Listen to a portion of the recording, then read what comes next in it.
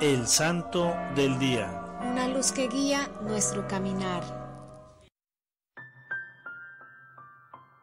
Hoy 16 de enero conmemoramos a San Marcelo I Papa. Nació en la época en que el Imperio Romano perseguía a los cristianos. En la serie de los pontífices, el Papa Marcelo ocupa el puesto número 30. Fue pontífice por un año, del año 308 al 309. Su nombre significa guerrero. Era uno de los más valientes sacerdotes de Roma en la terrible persecución de Dioclesano entre los años 303 al 305. Animaba a todos a permanecer fieles al cristianismo aunque los martirizaran. Elegido sumo pontífice, se dedicó a reorganizar la iglesia que estaba muy desorganizada porque ya hacía cuatro años que había muerto el último pontífice, San Marcelino. Era un hombre de carácter enérgico, aunque moderado, y se dedicó a volver a edificar los templos destruidos en la anterior persecución. Dividió Roma en 25 sectores y al frente de cada uno nombró a un presbítero o párroco. Construyó un nuevo cementerio que llegó a ser muy famoso y se llamó Cementerio del Papa Marcelo.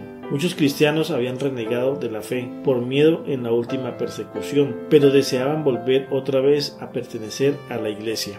Unos, los rigoristas, decían que nunca más se les debía volver a aceptar. Otros, los manguianchos, decían que había que admitirlos sin más ni más otra vez a la religión. Pero el Papa Marcelo, apoyado por los mejores sabios de la Iglesia, decretó que había que seguir un término medio, sí aceptarlos otra vez en la religión si pedían ser aceptados, pero no admitirlos sin más ni más, sino por el contrario, exigirles antes que hicieran algunas penitencias por haber renegado de la fe por miedo en la persecución. Muchos aceptaron la decisión del pontífice, pero algunos, los más perezosos para hacer penitencias, promovieron tumultos contra él y uno de ellos, apóstata y renegado, lo acusó ante el emperador Magencio, el cual, abusando de su poder que no le permitía inmiscuirse en los asuntos internos de la religión, decretó que Marcelo quedaba expulsado de Roma. Era una expulsión injusta porque él no estaba siendo demasiado riguroso, sino que estaba manteniendo en la iglesia la necesaria disciplina, porque si al que a la primera persecución ya reniega de la fe se le admite sin más ni más, se llega a convertir la religión en un juego de niños. El Papa San Damaso escribió medio siglo después el epitafio del Papa Marcelo y dice allí que fue expulsado por haber sido acusado injustamente por un renegado.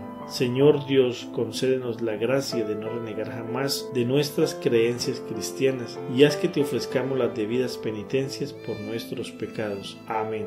También en este día la Iglesia hace memoria de San Honorato Arlés, San José Vaz, San Tiziano de Ordeso, Beato José Antonio Tobini.